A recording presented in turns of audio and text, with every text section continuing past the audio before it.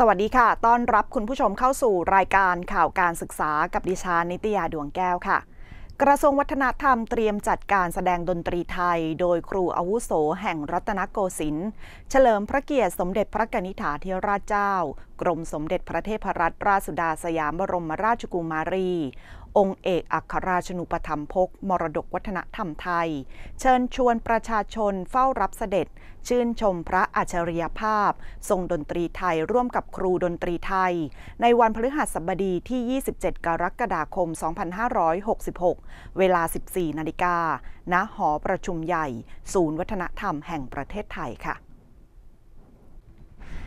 นายอิทธิพลคุณปลื้ม รัฐมนตรีว่าการกระทรวงวัฒนธรรม พร้อมด้วยดรสิริชัยชาญฟักจำรูน ศิลปินแห่งชาติ สาขาศิลปะการแสดงดนตรีไทย พุทธศักราช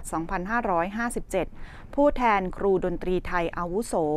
หม่อมราชวงศ์กัลยาติงศภัทิย์ ผู้แทนวงดนตรีบ้านปลายเนิน เป็นประธานแถลงข่าว เตรียมจัดการแสดงดนตรีไทยโดยครูอาวุโสแห่งรัตนโกสินทร์เฉลิมพระเกียรติสมเด็จพระกนิษฐาธิราชเจ้า กรมสมเด็จพระเทพรัตนราชสุดาสยามบรมราชกุมารี องค์เอกอัครราชูปถัมภกมรดกวัฒนธรรมไทย และวิสิตศิลปิน ด้วยสำนึกในพระมหากรุณาธิคุณ ที่ทรงมีคุณูปการอย่างอเนกอนันต์ต่อการดำเนินงานด้านศิลปะวัฒนธรรมของชาติ โดยเฉพาะทรงเกื้อหนุนอุปถัมภ์ดนตรีไทย ทรงพระปรีชาสามารถด้านดนตรีไทยเป็นที่ประจักษ์ และทรงเป็นแบบอย่างอันดีงามในการอนุรักษ์ สืบสารดนตรีไทย ซึ่งเป็นเอกลักษณ์ของชาติ ทั้งยังเป็นการจัดเพื่อน้อมรำลึกถึงพระมหากรุณาธิคุณ สมเด็จพระเจ้าพี่นางเธอเจ้าฟ้ากัลยาณิวัฒนา กรมหลวงนราธิวาสราชนคริน เนื่องในวาระครบรอบ 100 ปีวันประสูติ สำหรับการจัดงานดังกล่าวในปีนี้นับเป็นครั้งที่ 13 โดยจะมีการจัดแสดงดนตรีไทยโดยครูอาวุโสแห่งรัตนโกสินทร์ขึ้น ในวันพฤหัสบดีที่ 27 กรกฎาคมนี้ เวลา 14 นาฬิกา ณ หอประชุมใหญ่ ศูนย์วัฒนธรรมแห่งประเทศไทย มีครูอาวุโสและลูกศิษย์ร่วมแสดงกว่า 50 ท่าน ร่วมขับร้องและบรรเลง บทเพลง และการแสดงในครั้งนี้ ได้รับพระมหากรุณาธิคุณจากสมเด็จพระกนิษฐาธิราชเจ้า กรมสมเด็จพระเทพรัตนราชสุดาสยามบรมราชกุมารี ทรงซอเพลงมหาชัย ร่วมกับวงครูอาวุโสแห่งรัตนโกสินทร์และทรงซอเพลงไทยเฟื่องฟู แสงหนึ่ง คือรุ้งงาม ร่วมกับวงดนตรีบ้านปลายเนิน ซึ่งนับเป็นขวัญกำลังใจอย่างยิ่งแก่ครูอาวุโส นักดนตรีไทย และแวดวงดนตรีไทยของประเทศสำหรับการแสดงดนตรีไทยโดยครูอาวุโสแห่งรัตนโกสินทร์ครั้งที่ 13 นี้นะครับจัดขึ้นเพื่อการเฉลิมพระเกียรติ สมเด็จพระกนิษฐาธิราชเจ้ากรมสมเด็จพระเทพรัตนราชสุดาสยามบรมราชกุมารี และในปีนี้นะครับจากการที่องค์การยูเนสโก ได้ประกาศยกย่อง สมเด็จพระเจ้าพี่นางเธอ เจ้าฟ้ากัลยาณิวัฒนากรมหลวงนราธิวาสราชนครินทร์นะครับเป็นบุคคลสำคัญของโลกทางกรมส่งเสริมวัฒนธรรมกระทรวงวัฒนธรรมร่วมกับคณะ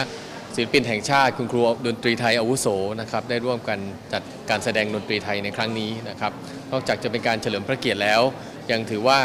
การแสดงดนตรีไทยนั้นนะครับโดยครูอาวุโสจะสร้างแรงบันดาลใจนะครับจะสร้างแรงกระตุ้นเตือนให้กับคนทั้งน้องๆเยาวชนนักเรียนนักศึกษานะครับคุณครูดนตรีไทยรวมไปถึงพี่น้องประชาชนทั่วไปนะครับได้ให้ความสำคัญรวมถึงได้ร่วมกันอนุรักษ์สืบทอดอดนตรีไทยครับท่านชื่นชอบในการฟังดนตรีไทยอยู่แล้ว แต่ในเรื่องของการที่จะถึงขั้นไปเรียนไปฝึกฝน การเล่นดนตรีไทยนั้นนะครับการมาชมการแสดงดนตรีไทยเนี่ยก็ถือว่าเป็นอีกหนึ่งในสิ่งที่สร้างแรงบันดาลใจ แล้วก็ทำให้คนได้ร่วมกันอนุรักษ์ดนตรีไทยด้วยนะครับ โดยเฉพาะยิ่งในการแสดงดนตรีไทยในทุกๆ ครั้งนะครับสมเด็จพระกนิษฐาธิราชเจ้ากรมสมเด็จพระเทพรัตนราชสุดา สยามรมราชกุมารี จะเสด็จพระดำเนินทอดพระเนตรนะครับและในครั้งนี้เป็นพิเศษนะครับ เป็นพิเศษอีกครั้งหนึ่งที่พระองค์ท่านได้ทรงสอกับวงดนตรีไทยครูอาวุโส และวงดนตรีไทยบ้านปลายเนินด้วยนะครับก็ถือว่าเป็นโอกาสสำคัญที่จะได้เฝ้ารับเสด็จรวมถึงทราบซึ้งในพระมหากรุณาธิคุณของพระองค์ท่านด้วยนะครับในส่วนของกระทรวงวัฒนธรรมนั้นเราถือว่าดนตรีไทยนะครับเป็นมรดกทางวัฒนธรรม และเป็นเอกลักษณ์ของชาตินั้นในทุกๆกิจกรรมครับที่จะจัดขึ้นเพื่อเป็นการสืบสาร แล้วก็อนุรักษ์รวมส่งเสริมด้วยนะครับ เราก็มีความยินดีที่จะได้ให้การสนับสนุนนะครับ โดยเฉพาะยิ่งในการจัดแสดงดนตรีไทยโดยครูอาวุโสนั้นนะครับปีนี้เป็นถือว่าเป็นครั้งที่ 2 ของปี 2566 แล้วเป็นครั้งที่ 13 ของการจัดแสดงดนตรีไทยโดยครูอาวุโสนะครับก็อยากจะฝากเชิญชวนพี่น้องประชาชนทุกๆท่านนะครับ ได้เข้าร่วมเฝ้ารับเสด็จและการ รับชมการแสดงดนตรีไทย โดยครูอาวุโสแห่งรัตนโกสินทร์ในครั้งนี้นะครับ ซึ่งจะจัดขึ้นในวันที่ 27 กรกฎาคม ที่หอประชุมใหญ่ศูนย์วัฒนธรรมแห่งประเทศไทยในเวลา 14 นาฬิกานะครับ ก็สามารถที่จะแสดงความจำนงในการจับจองที่นั่งสำรองที่นั่งได้นะครับ ที่ศูนย์วัฒนธรรมแห่งประเทศไทย สมเด็จพระนิธิฐาธิราชเจ้าจะทรงดนตรีร่วมกับนักดนตรีอาวุโส เพลงมหาชัยครับ โดยบทพระนิพนธ์ของพระองค์ท่านเป็นบทพระนิพนธ์เทิดพระเกียรติ สมเด็จพระเจ้าพี่นางเธอเอ่อกรมหลวงนราธิวาสราชนครินทร์ครับ แล้วจากนั้นเนี่ยจะทรงดนตรีอีกครั้งหนึ่งตอนเป็นเพลงสุดท้าย เพลงสองเพลงสุดท้ายของเรื่องในเกี่ยวกับการเทิดพระเกียรติ สมเด็จพระเจ้าพี่นางเธอกรมหลวงนราธิวาสราชนครินซึ่งท่านจะส่งร่วมกับวงดนตรีบ้านไปเนินนะครับ โดยเฉพาะอย่างยิ่งมีเพลงอยู่สองเพลงนะครับ ไทยเฟื่องฟูกับ